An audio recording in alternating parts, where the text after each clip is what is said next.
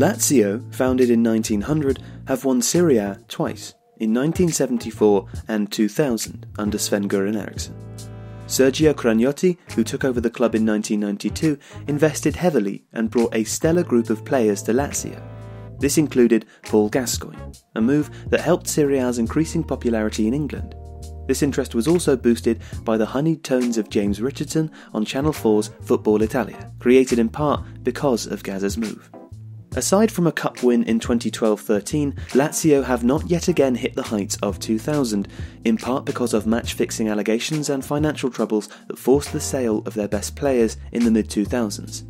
But current manager Simone Inzaghi has an exciting crop of players, and while Lazio are out of the Serie A hunt, the Champions League looks like a real possibility. Star striker Ciro Immobile is on course to be the first capocannoniere, the title given to Serie A's top scorer, in Lazio colours since Hernan Crespo in the season 2000-2001. Lazio have played largely as a 3-5-1-1 this season, although they also use a 3-4-2-1. They have a fairly settled first team, with Immobile playing ahead of Spanish schemer Luis Alberto, a midfield three anchored by former player Lucas Leiva with Marco Parolo and the young Serbian Sergej Milinkovic Savic flanking him, with width coming from Senad Lulic on the left and Adam Marusic on the right. Defensively, Lazio tend to press only when the opposition enter their half, though they will push higher if the opposition have a sustained passage of play between their defenders.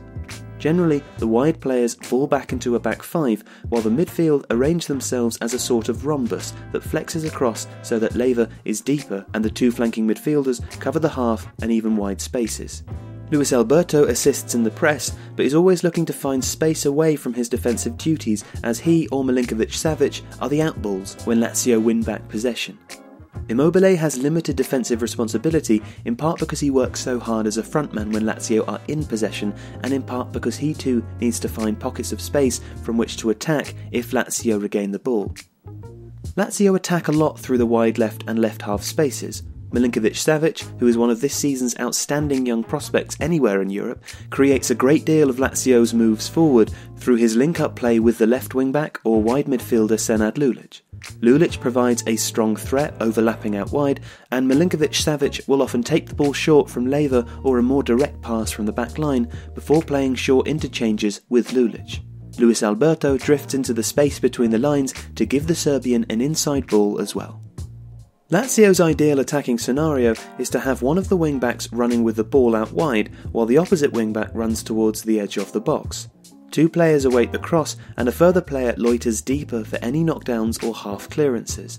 You can see this pattern repeated time and again when Lazio can commit sufficient men to any break or are attacking from their own half. Milinkovic Savic's ability in the air and from long shots is important here as he can join Immobile in the box and threaten or sit back and then shoot from range as he did beautifully against Sassuolo this season. Meanwhile, Leiva and Parolo provide a solidity in the midfield.